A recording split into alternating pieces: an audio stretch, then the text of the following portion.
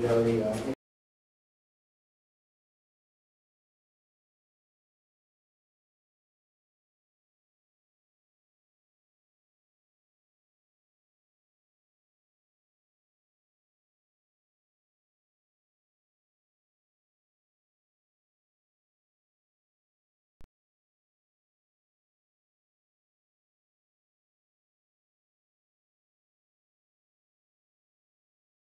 Good afternoon, everybody, and welcome to ACE 12. Appreciate you all coming out this afternoon and uh, coming to join us. As I think most of you know, ACE is generally about uh, startups, but we are having a a special panel today looking at those companies that have been successful startups and now moved on to second stage companies.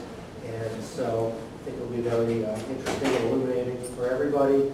I want to start with our moderator, Nancy Bosey, who runs the growth group at the Small Business and Technology Development Center, which is focused on second stage companies. And- The SBTDC, as we call ourselves, is we provide no-cost business consulting, um, low-cost training, and we provide um, market research to help our companies grow. And with us today, I have two of our growth specialists. We have Al Bacon, Chris Olson. So, um, you know, they brought their, their clients along, and we thank our small business owners for being here today because as you know, how busy the world is with the small business um, owner uh, realm. So thank you all for coming today too. And um, it- the plan is we will have them talking, we'll ask a few questions. The last 15 or 20 minutes, we'll open it up for um, question and answer on your part so that you will get to ask your questions and answers. And so why don't we start with Liz? Right? Hi, my name is Lynn Perenik. I'm the owner and president of Argent Label, conveniently located off of Six Mile and 275. Um, I have an interesting story, at least I think it's interesting. We are a stage two company, um, but I have only had, owned the company for two years. It was originally a stage two company when my husband bought it in 1994. Um, It was primarily pharmaceutical uh, labels that they did.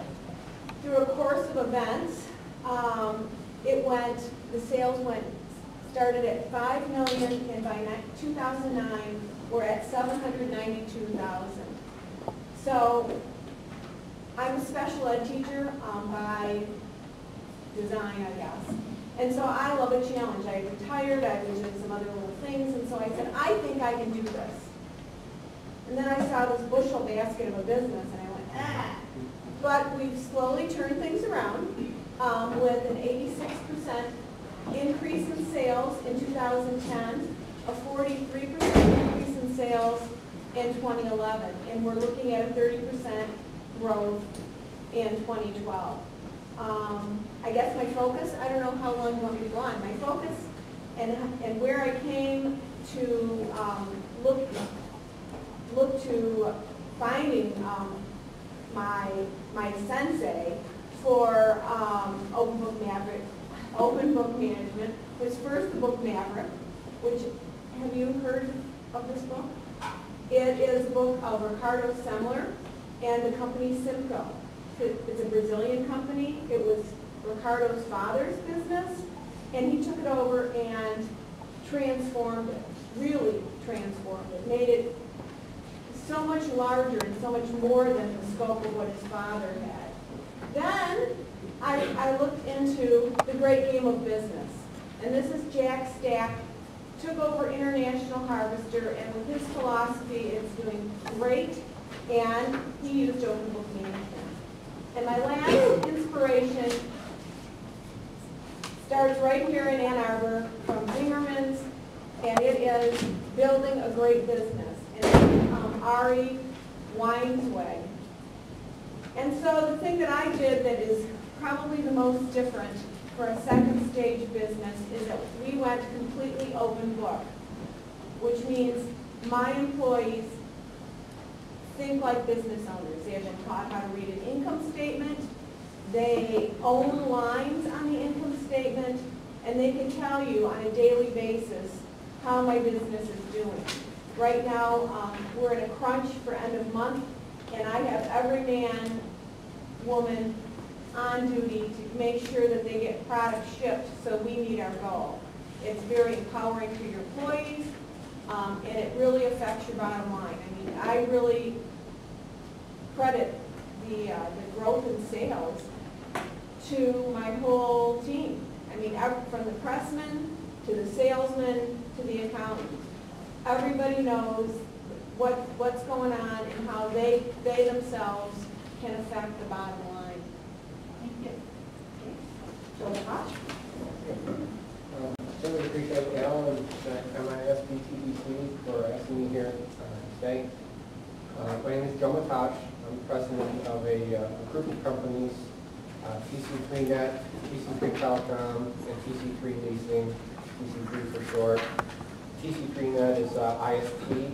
Um, We're based in Adrian, Michigan, uh, about 60 miles south uh, west of Detroit. Um, TC3Net is an internet service provider, we provide uh, dial-up and broadband services. TC3 Telecom is a telephone company, provides telephone services. And TC3 Leasing is really a holding company for those, those two companies. Um, We just celebrated our 20th uh, anniversary, in business for 20 years. Um, I started the original company uh, called the Computer Care Company in 1990, uh, 1991 from my home, about $100 to purchase a toolkit, and and just was naive enough to, to start my own company. Uh, I was joined by my father in 1992, and we were able to, to purchase a small retail storefront computer business that was, that was kind of on its way out, and uh, took over that operation and uh, did okay with that. That was back at the time when Gateway and Dell and everybody else were, were slugging it out for the personal computer business. And um, so we, we held our own there for, for several years. But in 1995, um, I was at the, uh, one of the local school districts that demonstrated this, this cool concept called the internet. And I thought it was phenomenal. And uh, we decided, uh, I convinced my, my dad to, to spend the money to, to get involved in that. And uh, that gave us the chance to be the first to market in our area with a local dial-up product. And uh, that business did very well. We had, had quite a rise in the next several years. And by 1999, the, the internet revenues had, had vastly eclipsed the computer service business, and we decided to, to shut that down and focus strictly on the internet. Um, In 1999, because we were buying uh, hundreds of, of telephone lines and services, um, we launched our, second company, TC3 Telecom, as a, uh, a telephone company to provide those uh, telecommunication services to the ISPs, so that we can essentially buy that at wholesale. Um, Certainly gave us the opportunity then to move on into broadband services that were just coming out, DSL, and also telephone services. In 2008, we acquired a small wireless um, internet service provider and revamped that company, and a year later, we were able to launch our own wireless internet uh, service offering as well. So today, TC3 is a uh, broadband and and, uh, telecommunications provider. We provide uh, broadband in both the urban environments and the rural environments. Uh, We also do a little bit with satellite TV. Our service area covers all of Lenawee County and spills into uh, Washtenaw and Monroe County. Um, Today, our our annual revenues are just over $3 million. I love Very good. My name is Linda Girard. I'm the visionary and co-founder of Pure Visibility. We are an Ann Arbor-based firm. We have about 20 employees that are amazing analysts. And how did I get here? Well, it all started a long time ago with an acronym, SEO. Does anybody know what SEO stands for? Who, who, who can tell me what SEO stands for? The. Who ran the, who, who raised their hand first? Let's get a ball. I did. Come Who who can tell me what SEO is? students. Search engine optimization. What about PPC? Who said it? You The did. fraud, the All fraud. right. A dog. Now, Some of our, which one of our students, do we have any students in here from, in the back? Okay, Michigan State University. and that's you. Fabulous. What about ROI? Go for that one. Wisdom State University. Actually, I'm gonna give this as a student. Can you hand this back? So, so we started, um, we started SEO and paid search seven years ago. Today, we have, um, companies, we, we build internet marketing strategies for companies like VMware and Learning Care Group, which is, uh, Tutor Time, Child Time, Mockery Academy, and also Thomson Reuters, Techstreet, and. Louder. Louder, sorry. And, a, and a wonderful Silicon Valley company out, um, um, called Switchgear. Um, and I'm really excited to be here today and share what I learned from growing, um, and becoming a second stage company. We became a second stage company when, we hit supposedly a million dollars, and, and it was really exciting.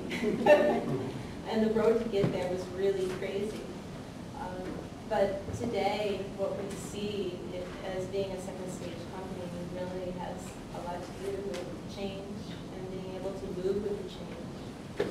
I'm sorry, I- I'm- I'll, I'll speak as loud as I can, you keep doing that and and- and push me. Um, I would say that one of the most important things that I've learned over the past seven years is that if you have the right people around you, you, the people you choose to be with, they are the ones who will take you where you need to go, and of course, your vision. But it's crystal clear. So it's, it's really important to be with your peers. And- And I'll, I think I'll be talking a little bit about that um, in the questions and comments. So let's, let's talk a little bit about leadership and, and first of all, we gave you the, um, these evolving stages because, you know, the, um, state, and the federal government says the stage two company starts at a million dollars in sales and, um, nine or more employees and, you know, and that's, that's a target, you know, because some people may be moving to second stage and some people may still, you know, because there's other characteristics that come into play. And so we just want you to be able to look at these evolving stages and think about, okay, if we're going to move from stage one to stage two, then here's how we need to move. And these three companies have done it successfully, these three business owners. So they are um, very exemplary business owners because it is a, it is about change and managing that change and growth. So um, the first question is, is as you move from an early stage company or a stage one company into stage two, what new leadership skills did you need to develop or, or that you had to use um, as you made that change? Joe, let's go first. I think for me, um, one of the things that, that came to light for me um, several years back was, was really trying to maintain uh, a focus on the fact that, that I was the company visionary. Um, You know, I, again, I started small, I, right on my house, so I, I was the jack of all trades, I, I had to do all the functions. I was the accountant, the janitor, the salesperson, the technician, and all of those sorts of things. And certainly, as, as the company begins to grow, you begin to, to, to delegate those things out. Um, But I, I found it at, at one point that, um, although I was delegating and, and we were growing, um, my involvement in the company was still very critical in terms of, of the day-to-day operation. Uh, If I stepped away from the company, the company was, was going to shut down. And I think as you, as you begin to grow out of that stage one, where that's, that's just a given, you, you have to be in that, that role a- as your stage one company. But as you begin to grow, um, you need to maintain a focus on the fact that- that you are the visionary. You, you have a company that's growing because you have a talent or a skill or something that, that you're bringing to the table that is not possessed by, by everyone. And if, if you get trapped into that process where you're part of the production facility, then I, I think that can, can be a real limitation on your ability to um, use your talent.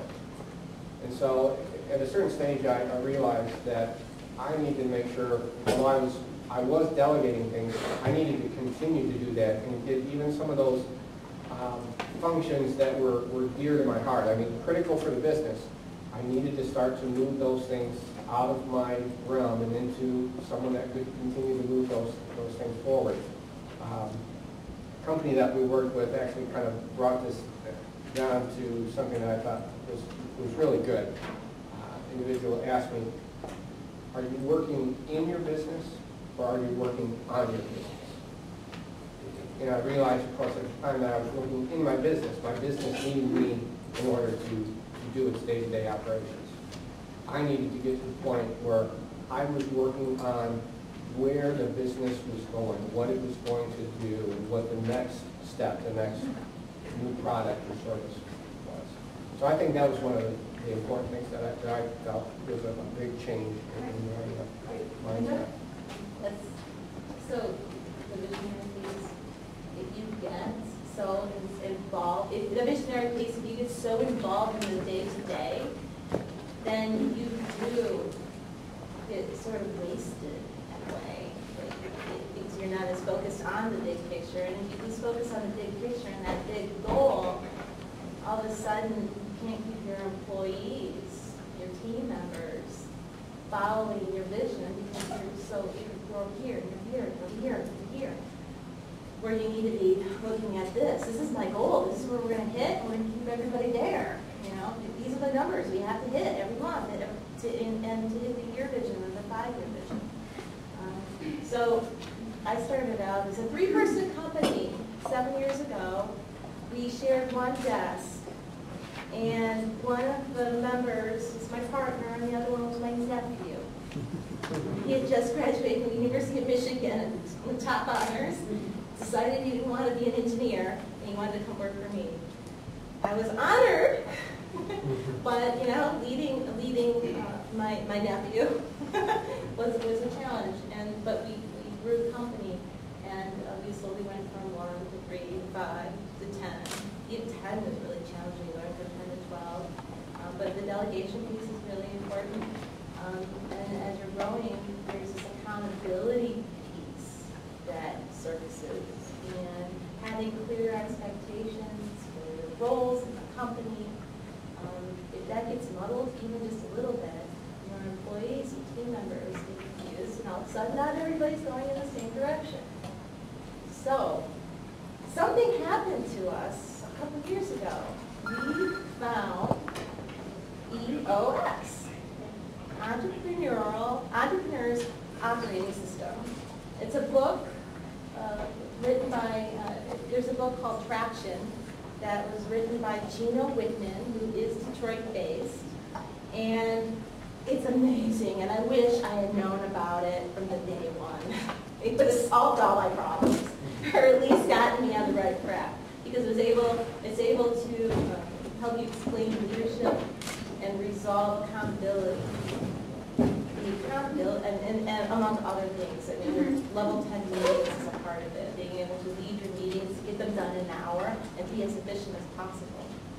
Really staying focused on that vision um, it, it is extremely important, but the, yeah, the leadership role, it, it changed so much that from the very beginning, now it's, incredible. Um, well, I think that the leadership role for me changed as I looked at open book. Because I believe that all of my employees need to think like owners and have a shared responsibility and thus a share, shared accountability. Um, we manufacture, some of the materials that we use can be thirty-five hundred dollars for a log of material. If you have a pressman who, who doesn't care and is making eighteen dollars an hour, he can, he can make bad parts and, and just go through that thirty-five hundred dollar log in no time flat. But when your pressman knows the cost of poor quality and how that's affecting your bottom line, they care. Because when we have meetings, we say, you ran twenty thousand bad parts. We had to replace them, we had to do them over again, so it was material, it was labor, it was shipping, and, and more importantly, it was our reputation. And people start to care. So for me, that was, that's a huge paradigm shift from me being the only one that has a vision and me being the only one that's leading the company forward.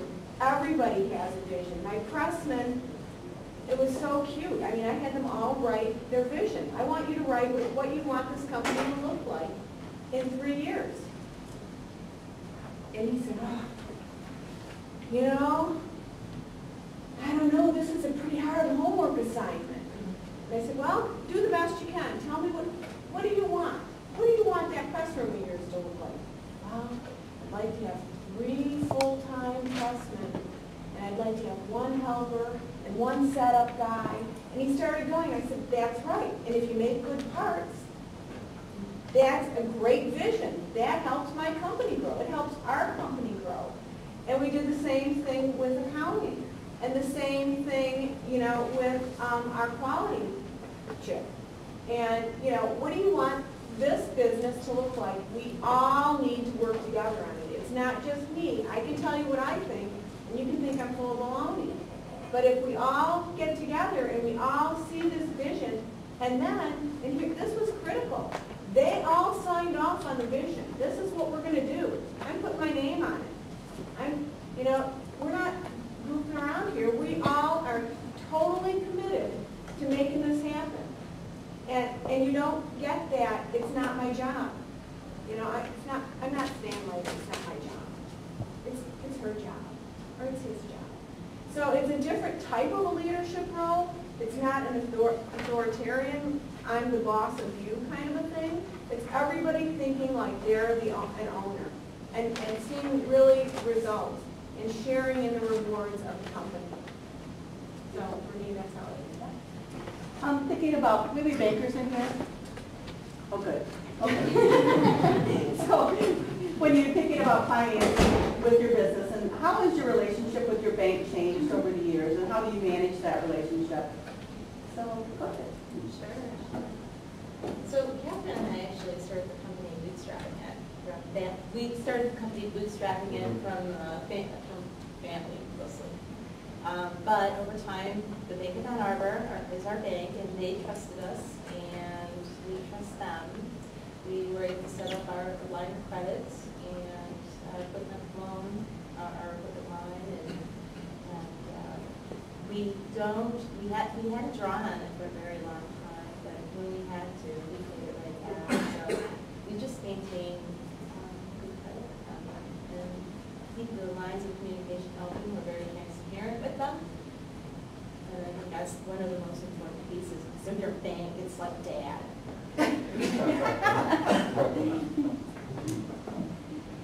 Uh, Lynn? Well, I have an interesting banking arrangement. Um, is Comerica. My husband has the larger of the two companies, so I do kind of go to dad, only it's my husband, because he's signed on my line, or I'm signed on his line.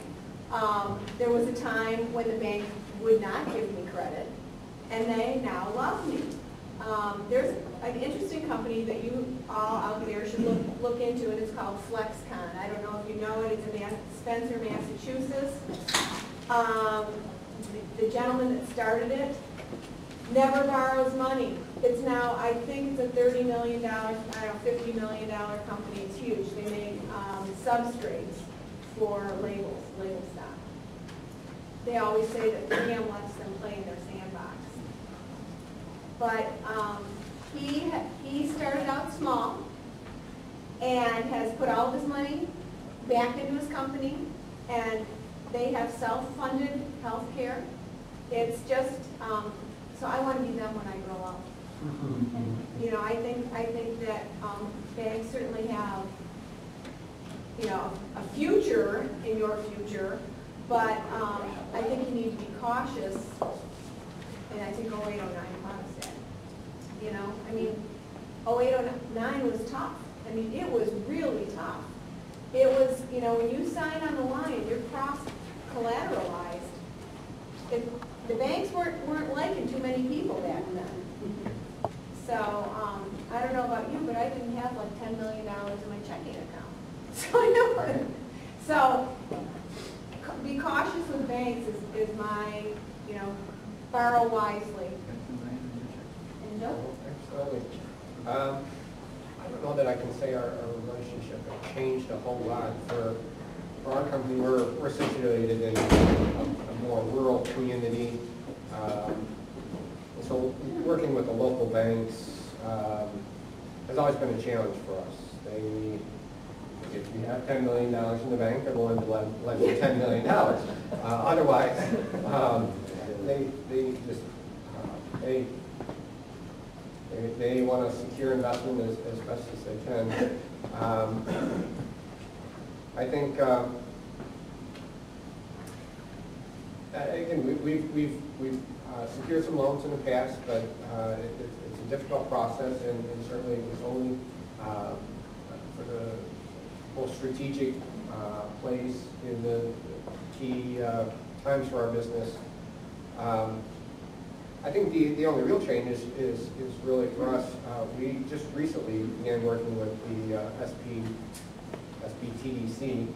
and um, I think that has given us some insight, really, to uh, how we can move into uh, some of the more elaborate financing opportunities there, to to really understand how to get our, our financials in a presentable way that that is just going to streamline that process and allow us to present the things that that the banks want to see and ratios and all those sorts of things. Um, You've all increased your sales. Congratulations, we like that, added jobs. So when you think over the, the course of your history, what is the biggest change that you've seen happen in your sales efforts? What, what, what, um, what, what have you done? Who go? Go ahead. Well, I- when, when you're small, when you're just starting out, and again, we manufacture, um, you'll, you take any job that you can get, you know? I looked at it like, sort of like being in high school, you know, you have projects, you've got quizzes, you've got tests, you've got a lot of things that are propping up your income. Um, When you're in college, you have a midterm and a final and maybe a paper. Well, I didn't want, I didn't want to go that route, but I didn't want to stay with just a bunch of little stuff. So we've, we've now looked at pay dirt. I've been watching the Alaska mining show. Um, And we know that those are our current customers. That's, that's where we, we know we can get repeat sales there. But we're look, we're mining new territories and more importantly, and most importantly for us, we're going after the whales. We're going after Delphi. We're going after Procter and Gamble. We're going after, you know, larger companies that really, when you're a little guy and you're just starting out, they, they- they want to see, you know, your DMV, they want to know your capability and your capacity, and they don't really even care about your line of credit when you're busy saying, but wait, I've got this line of credit and I might not have this equipment right now, but I can buy it. They don't want to hear it. So now that we are in a more stable position and we're moving into stage two, we're now looking at the whales. And you, you get a couple of whales in there and you, and it really helps you to be a much more sustainable business. Um, Well, for us, um, we are a a retail industry, so we're we're selling to the uh, general public. And um, ear- early on in our company's history, certainly once we got into the internet, um, we had the luxury of having a a unique product that um, effectively sold itself. When you're, when we're the only local dial-up uh, internet uh, company in town, um, marketing was easy, right? We just had to put up our name and our, product and, and the, the people came to us. And, and uh, that persisted for several years. We, we, we we're able to skate by on, on a minimal marketing um, process. But uh, times have changed, the, the big boys are, are uh, in the market now, Frontier, AT&T, Comcast, those, those guys, those guys have some, some marketing budgets to reckon with. And so we, uh, uh, in recent years, we've really come to the realization that, that um, there has to be a a concise plan and a uh, a focused effort on, on that process. Uh, We've, we've begun uh, earnest effort to make sure that we have a marketing plan in place for the year.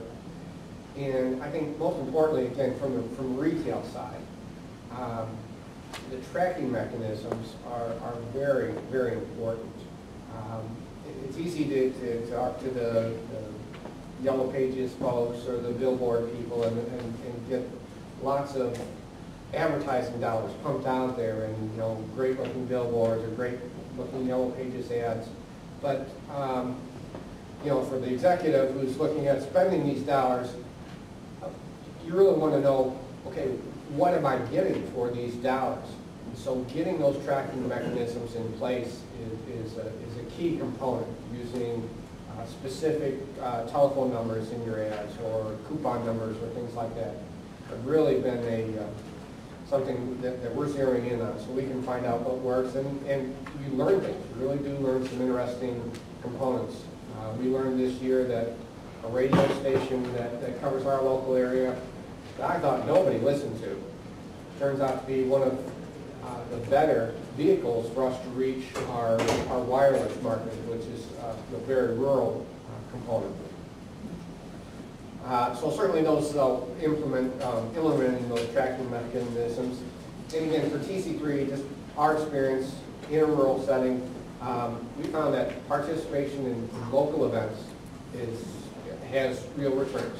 Just getting there, up at the high school basketball games, uh, things like that uh, are are truly uh, get your presence out there.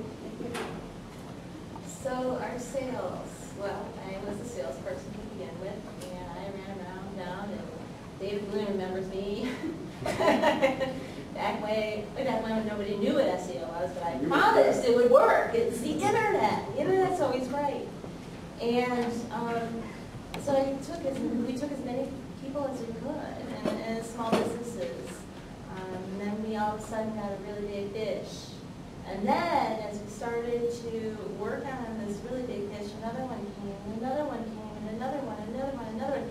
And then as we're doing this, we're, we're really, our analysts are getting into the work, we stopped and we, we took a look at everybody and we asked them, what do you most enjoy about? What are you really passionate about?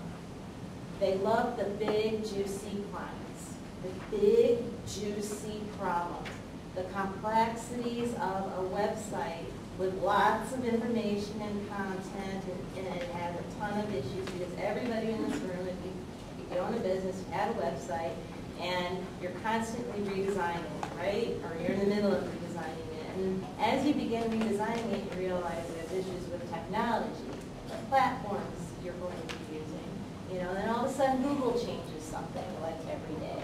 And then you've got Facebook, and then you've got Twitter, and you've got LinkedIn, and all these wonderful new ways to promote yourself, and your website's affected by all of it, because that's still home base for everybody to come back to. So our sales efforts soon turned to Sandler Sales. We invested in a membership with Sandler Sales, and we had our, Catherine and I go through training. A few other members of our team took training, that definitely helped. And then we went ahead and hired one salesperson, and she was amazing. So we had hired two. And we're on two now. It's really cool, because I'm not the only one out there. And I think that sales is very important to every business, but also remembering, just because you're a salesperson, it's not the only person selling. Every person in your company is selling. As they're delivering to the client, they're selling. So really, and then, and then when your client goes out there and they say nice things about you, they're kind of selling too. So you have to remember that. Everybody's, you're in it together. Um, and so that's, that's, that's where I'm at. I'm a marketing director now too. That's a big deal. I'm in shock. No, no, that's, that happened this year. yes. Okay, and the last question I'll ask, and then we'll open it up to the crowd for questions and answers. When you think of, what is the biggest process that you've had to change or implement within your company as it moved into the second stage? Getting TS certified, Okay, which is a quality, quality certification. It's required primarily by automotive.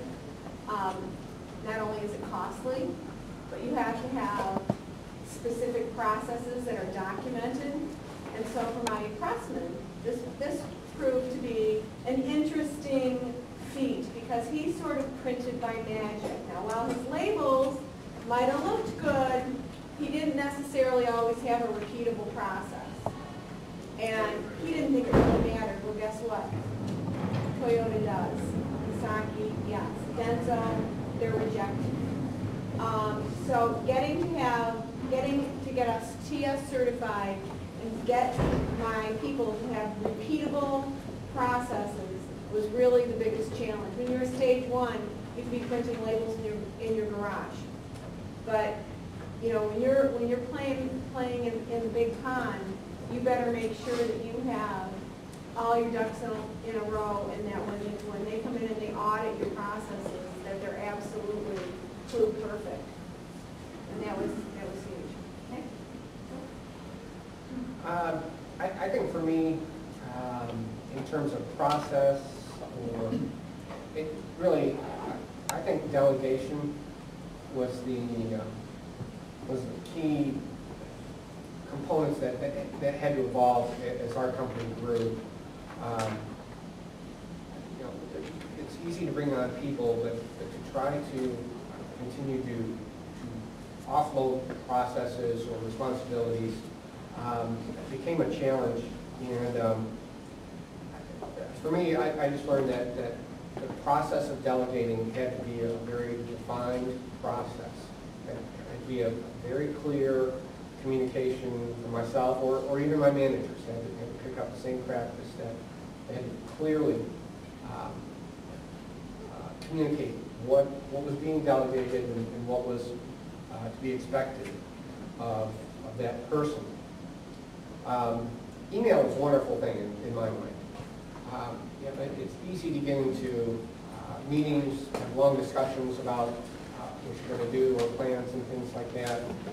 Uh, but you walk away and, and somebody may take away from that meeting something different than, than what you may have uh, arrived at. And so uh, one of the practices that, that I put in place is that as, as we have these meetings, um, I follow everything up with a uh, kind of a summary email. that makes sure I touched on the things that, that uh, the high points of, of what the conversation entailed, what the action items were, and what the takeaways were, so that, that it's established uh, that process had an end result, is a clear direction, and um, I, I just felt that that was probably one of the most important things that, that I had incorporated in my business as we grow, is to be able to communicate that information. Going back to the EOS system, the EOS system, the entrepreneurial operating system I mentioned earlier, uh, made us quite efficient. Um, the- Something I mentioned earlier, the level 10 meetings, where you lay out your issues, you discuss and solve them. Not necessarily in that meeting, but you never lose them. It's quite an interesting process to go through, that we have the best meetings now in the company, where we don't sit for two hours and still don't have a solution. Um, When we had crossed the line, we did, our processes broke, a lot of things broke, the same things that we, things that we used to do didn't work anymore. There was, there were expectations of, uh, a performance management review. We had never done one of those. We just expected everybody to do their work. And now we're implementing that, and it's rolling out quite nicely through the help of the EOS system. Um, Another piece of this too is when, when I, when I, it's lonely at the top. And you can't talk to your neighbor necessarily about the situations in, in your company. but you can talk to peers that are going through the same thing. So I joined a group called Entrepreneurs Organization, it's a global organization called, called EO, um, 8,000 CEOs all over the world, and I can pick up the phone today and call any one of them and ask them for a story. They share stories, and it's not, it's not advice, it's just thoughts. It's about, okay, have you ever experienced something like this, and how did you solve it? And it's awesome. So if you were able to find a group like that, I highly recommend that in, in helping you figure out what to do next. Because really, you're, you're helping each other. There's a lot of uh, processes and things that can come up, especially with humans. Human beings, you can manage humans, all kinds of exciting stuff. We all, we hired an HR person this year too. That was exciting. Marketing and HR. Yeah, but in- in human resources is just a, a very important area, and that handles some of the compensation packages, and helps you understand what those need to be, and how they should be laid out. At the end of the day, everybody needs a good bonus, and you still need to, uh, come with profit, right? Uh, The profitability. Thank you. All right, your turn. Questions from the audience, back there? So at what point, or have you already done this, are you looking at a, a board of advisors or a board of directors that, a board of advisors or a board of directors that will give you some key strategic partnerships and kind of, again, people like EO, but more embedded into your organization? I, uh, at, this point, I can't say that, that TC three is, is taking that step. Um, It, it it certainly, I think, the option to, to join, organizations like EO, I think are, are a great uh, opportunity for, for TC three, but, um, What about business mentors? Do you have business mentors that you can go to for advice? Sometimes. Oh, yeah, absolutely. Um, I think I mentioned we're part of the WPO, which is the World Presidents Organization. Um, and I have my husband, who I have dinner with every single night, who started, um, his business thirty-eight years ago. So, you know, and sometimes I have to say that he's sort of like Eeyore, you know, I've, I've just started this company and I'm Tigger and I'm all excited. And he's like, lost my tail, looks like rain. And, but he has a lot of really good sound advice. Um, and, you know, and particularly in dealing with automotive, he'll say, ah, no, to. Don't trust them, they're gonna eat your lunch. So, so we bounce things off of each other, and I think that we're, we're our own board of directors, really. And he keeps loaning me money. That's lovely, I don't know. I'm talking to the banker tonight. yeah. Okay, So, so the Board of Advisors, I think, is an important tool, and you don't necessarily need to pay them, which is really exciting. Um, you, you, you should sign a non-disclosure, however. But, but in choosing them wisely, um, is important too. How, how they, uh, bring, um, improvements to your business, and how they answer your questions and help you see things in a different light? Um, We did, we did try that on for a little while, uh, but I am leaning more on entrepreneurs organization. Um, I am a communications chair and really involved at this point. But- yeah, I, I have, uh, I I highly recommend it. Um, and There's a lot of, all you have to do is ask. A lot of people don't realize this, but just ask for help and someone will come. Yeah. And I don't, again, unlike, unlike you guys, we manufacture, so our, one of our, our biggest suppliers is 3M. And 3M wants you to be successful, because if we're successful, they're successful. So we bought $3 million worth of, of material, product from them. They, they'd like us to have a 30% increase. So that if they have a new application, a new, you know, they're, they're now, now hot on die cutting insulate. Um, So they will come and, and do presentations, and they will actually give you leads. So, Another question? Sir? Uh, What's the largest problem you had to solve? And more importantly, what did you have to learn, Bill? When I was, when we were, we had, we, were about ten of us maybe, and it was really tough. Um, so there were a lot of questions. We didn't, we didn't understand the difference between finance and, and CPA. We kept asking the CPA questions that that we thought she, that she should be able to answer, but she couldn't. Because it was, they were finance questions, but we didn't know that. We didn't know better. So we just kept asking like everybody we knew questions.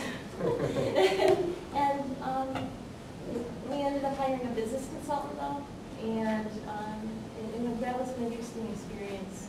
Um, And, and we had, we, that business, what, what I learned from the business, we had, we had hired like maybe three business consultants, we spent a lot of money on that, a lot. And what I found was that we had the answer. It was inside of us. It was all along. We didn't miss, they helped us get to certain areas and to see things in a different way. But I, I mean, gosh, we spent thousands and thousands of dollars on business consultants. Not that I don't love them, I do love them. I think there are amazing ones out there. But in, in the beginning stages, as two women, just one of those things. You you have to choose who your business consultant's going to be wisely. And and then you had learned um, through a few failures that you know, some worked, some didn't. I got out of, we got, we got out of one situation wonderfully. So, but it was tough. Charlie helped me. So, so yeah, there, there are, um, just always remember inside of you, even when the things are really dark and you're like, there's no way in hell I'm gonna be able to do this. There's no way I'm gonna be able to come up with this much money. You still can. There's still a way. You find it. It just is there. Well, oh, go ahead. Um, I think for TC3, one of the, um, one of the most difficult things that, that I had to contend with was, was, uh, kind of goes back to the the component I was talking about there with, um, maintaining the focus on, on being the, the entrepreneur, the, the visionary, um, and, and getting away from, uh, working in the company. Um, we got to a a place where I had some, some of my top people were, uh, that I had in my organization. Um, They were filling their, their function. um,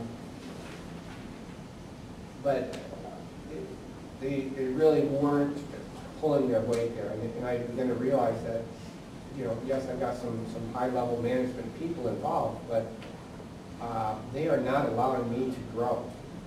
And, uh, you know, it, it came to uh, a a tough point in the business where, um, you know, these were key people. Uh, So I had to make the decision that I, I've got to, I've got to have people underneath me that can take on a high level of re- responsibility and, and take on some of those uh, tasks that are dear to my heart and, and own them and, and move the company forward. And um, so th- there was a, a point where we had to, I transitioned some folks out of the company. Been with the company several years, um, some friends, uh, but I had to, had to make a tough decision in order to be able to continue move the, the company forward. You you have to have, as you said, you have to have good people around you that can, that can the, the. Well, and I agree with you wholeheartedly, it sort of speaks to, to the area I was going in. As, as I, I told you, I sort of came into this business, it wasn't like I woke up and said, you know, I can't wait to work with an adhesive product. Where's the passion? Yeah. I love the smell of adhesive in the morning. And so, co- coming into this business, um, I'll never forget the first day I arrived at work, you know, and I wear my hair in a ponytail, and it's mostly men that work there. And so I heard somebody behind me, they didn't know who I was, and they said, who's the blonde ponytail? And I thought, well, we'll see about this. So I, so I went and bought a Barbie, a pinstripe Barbie for my, for my desk with the old 1950s blonde ponytail.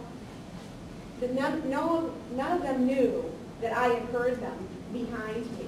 So she was just standing there. And then one of, and I knew that they had accepted me when one of, one of the guys that were operated the laser made a- an acrylic ceiling for Barbie so that she could be pounding her, her fist through, through the, yeah, the glass ceiling. Um, but it was tough, you know, automotive is, is a man's world, I mean, it just is. And so breaking into that and, and gaining acceptance and credibility was, was huge. You know, I mean, I had this guy that had been running um, tape and label, and he said to me, so are you gonna give me twenty percent of the business? And you know, how do you respond to that? I said, I don't know, could you look out the window? And he looked, and I said, is hell freezing over? I said, I give you twenty percent, if not, I don't think so. So it was, you know, it was the transitioning, it was the, the people that, that were there that, that really um, thought they were entitled. I've been here fourteen years, and I, I heard a lot of that, but I've been here fourteen years. And having taught in, in an urban district, you know, you get a little, you get a thick skin. So again, this guy said, I don't know, is there a shackle on your ankle? And I don't think you're chained to that desk chair. You know, you're not liking it. I don't know what to tell you. You know, you can't be the president of the company.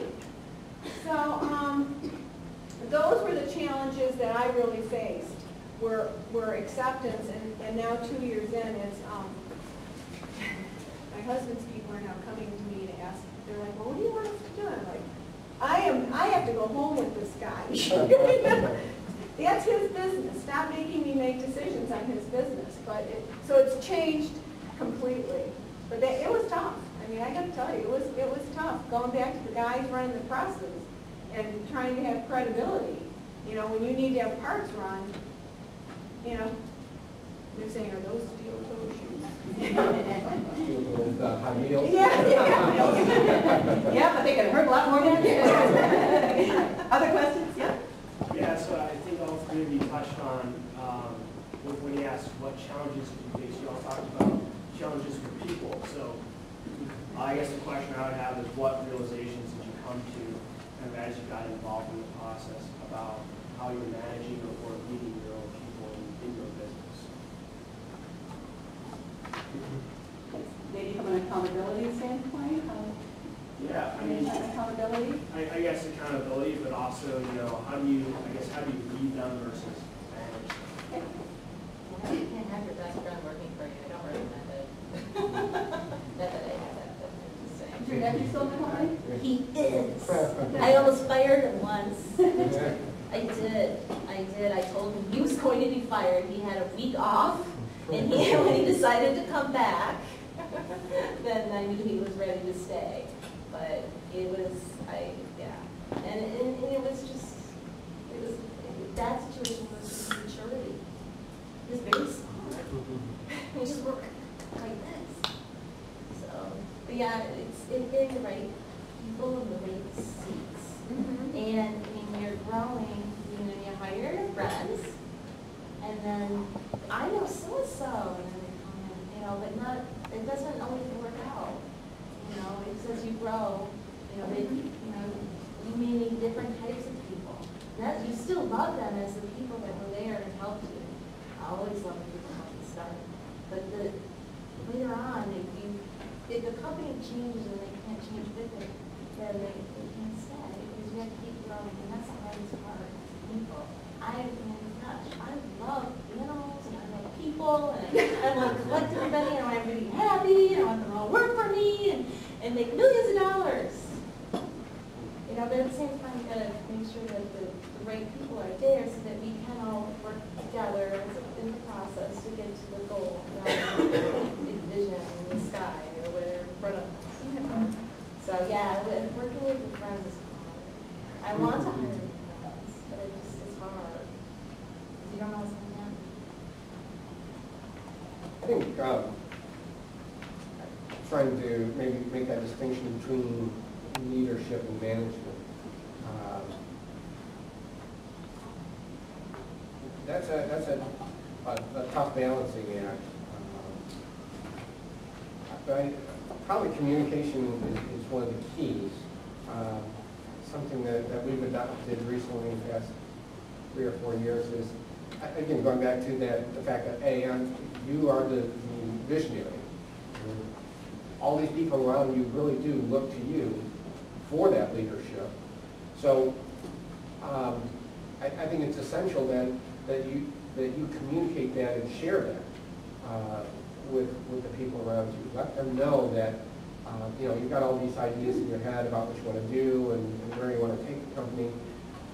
Make sure you, you do disseminate that to them as much as, as you can and um, perhaps try to break that down into achievable goals.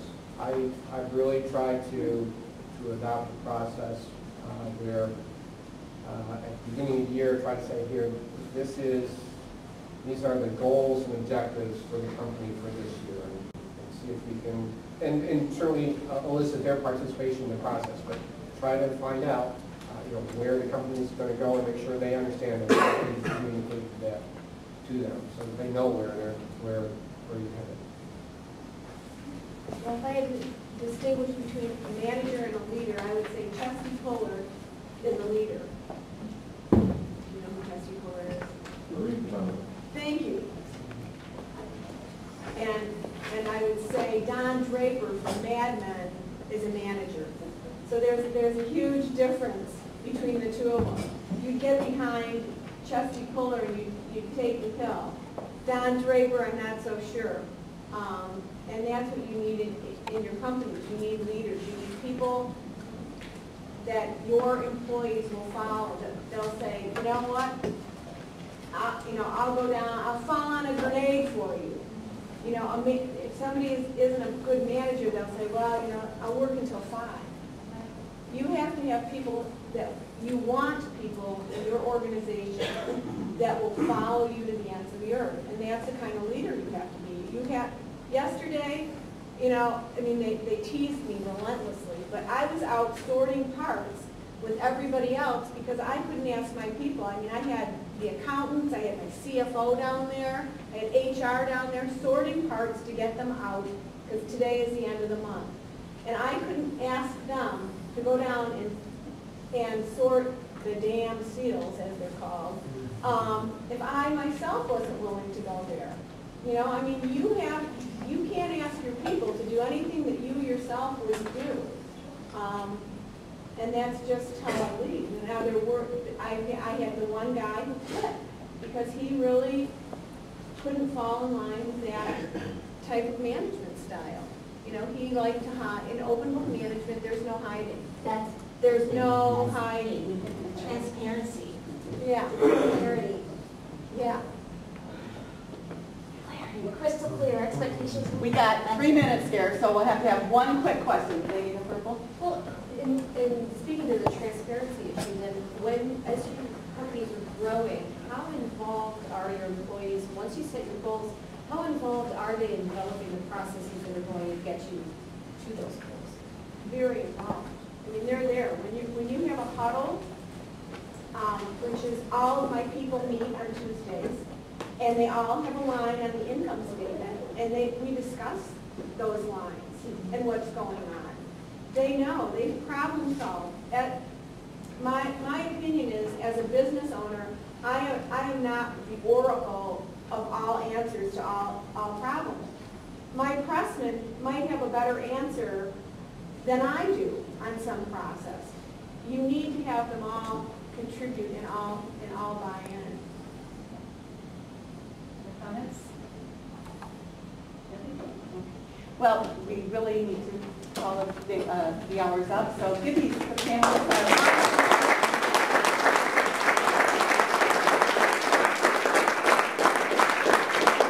Thank you, thank you from the SBTDC. We welcome your comments and enjoy working with you and enjoy the rest of the afternoon. I think there's food and drink up there, right, Charlie? In the, Yeah, Food, drink, lots of exhibits, and then Yeah. the main hall opens at five. right, and there's more workshops at four o'clock, Another workshop coming in here. four to five. So, and I'm sure they'll be around for a few minutes. I don't know if you have- get a little- And yay, my people got all of my damn stuff out